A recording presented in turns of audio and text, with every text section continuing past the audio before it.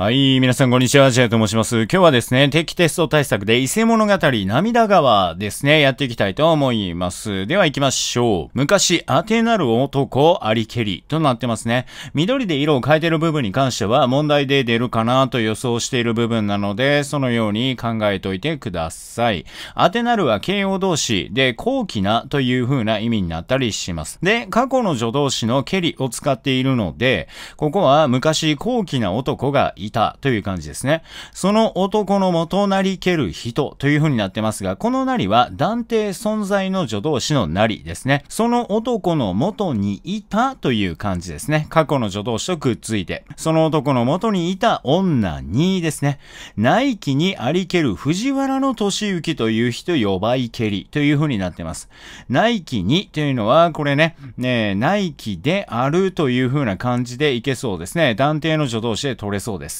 えー、そして、過去の助動詞のケリの連帯形になってて、呼ばふというのはどういう意味かというふうに聞かれたら、求婚するというふうに答えてもらえれば OK ですね。で、過去の助動詞がくっついているので、内気であった藤原の俊之という人が求婚したという感じですね。されど若ければというのはこれ女がなんですよね。その女というのが若かったので、文もおさおさしからずというふうに、おさおさしという形容詞を使ってますが、まだまだ幼くてろくに書けないという感じですね。だが、女はまだね、若いので、手紙もね、その、いわゆる恋関係の言葉というのを綴ることもろくにできずという感じです。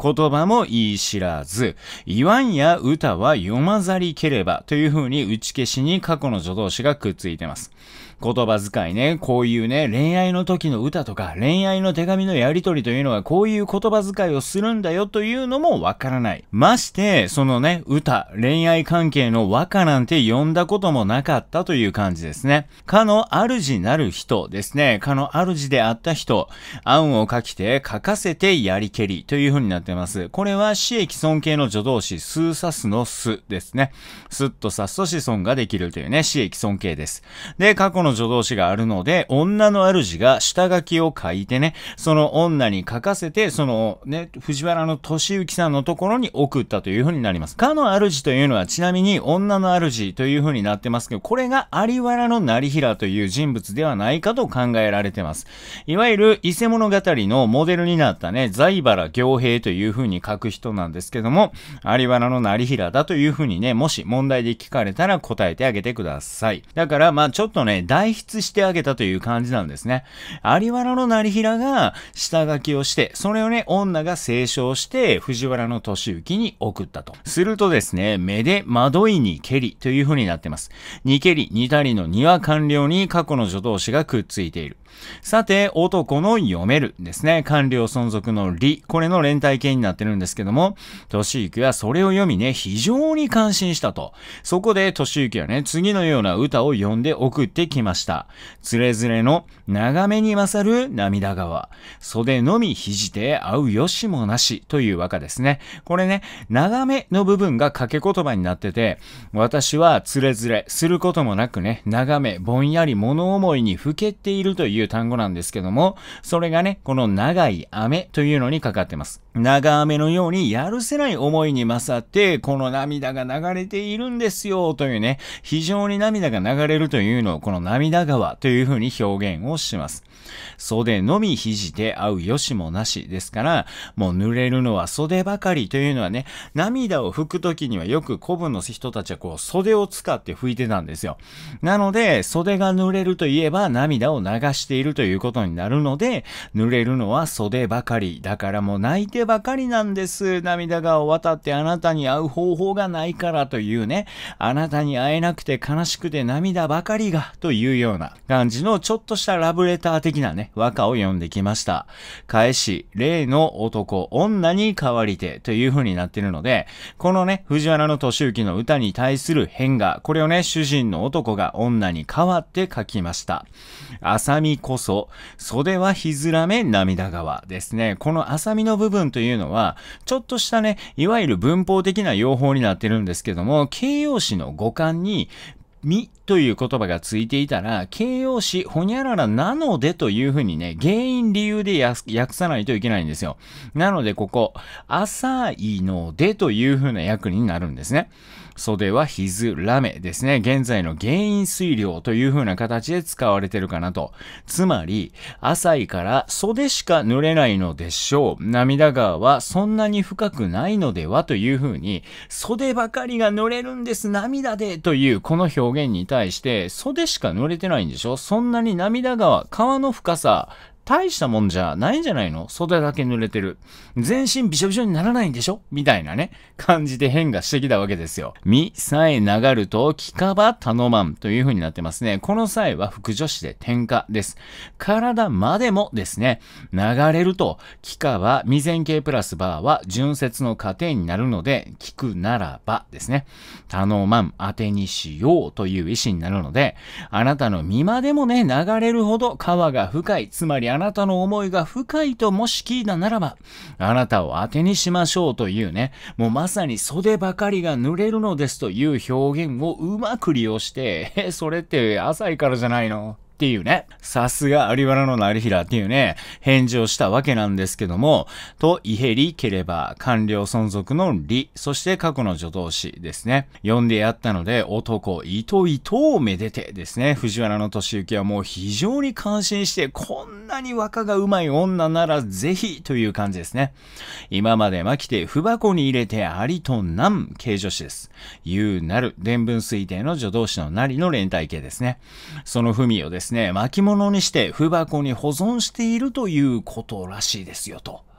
男、踏み起こせたりですね。官僚存続のたりです。敏行が女にまたね、手紙を送ってきました。するとね、得て後のことなりけりという風になってるんですけども、この得て後のことっていうのはどういうことかという風に言われたら、結婚して女を得た後という風に考えてください。で、断定の助動詞のなりに過去の助動詞のけりがくっついてるので、女と結ばれ結婚した後のことであったと。こんな手紙が来たわけですね。その手紙の内容です。雨の降りぬべきですね。ぬべし、つべしの通ぬは完了、脅威というふうに取ります。で、完了で取ることも多いんですけども、まあ、ここ、降ってしまいそう、今にも降りそうなというふうな感じで取ればいいかなと。で、形助詞のナムですね。み、わずらいはべるですね。丁寧語になってます。藤原の年行から女に対する手紙なので、年行から女に対する丁寧語です。ですね。手紙には、雨が今にも降ってきそうなので、あなたの元に行こうか迷っていますですね。このあたりも現代語訳とか解釈の問題が出てきそうなので注意しておいてください。み、幸いあらばですね。未然形プラスば、先ほどと同じように家庭です。もし我が身が幸いであれば、ついていればという感じですね。この雨はフラジ、打ち消しの水量です。私に幸運があれば、この雨が降ることはなく、あなたのとこに会いに行けますよね、みたいな感じでね、手紙を送ってきたわけですよ。と、イヘリければ、官僚存続の理、そして過去の助動詞、例の男ですね。という内容だったので、例のね、女の主人がですね、女に代わりて読みてやらすですね、死益尊敬の数です。女に代わって歌を読んで返しました。数々に思い思わず問いがたみですね。ここも形容詞の語感にみがついているので、そこをね、うまく訳してあげると、あれこれとあなたが私を思ってくれるのか、思ってくれないのか、非常に質問しづらいので、ですね。身を知る雨は降りぞ勝れるですね。形助詞で、かかり結びの法則でね、連帯形になってますが、官僚存続のリの連帯形ですね。私の心を知っている雨は、このように降り勝っているのでしょうというふうに、まさにね、この雨が降るか、降れへんか、来るか、来へんかというところの返事をズバッとしたわけですね。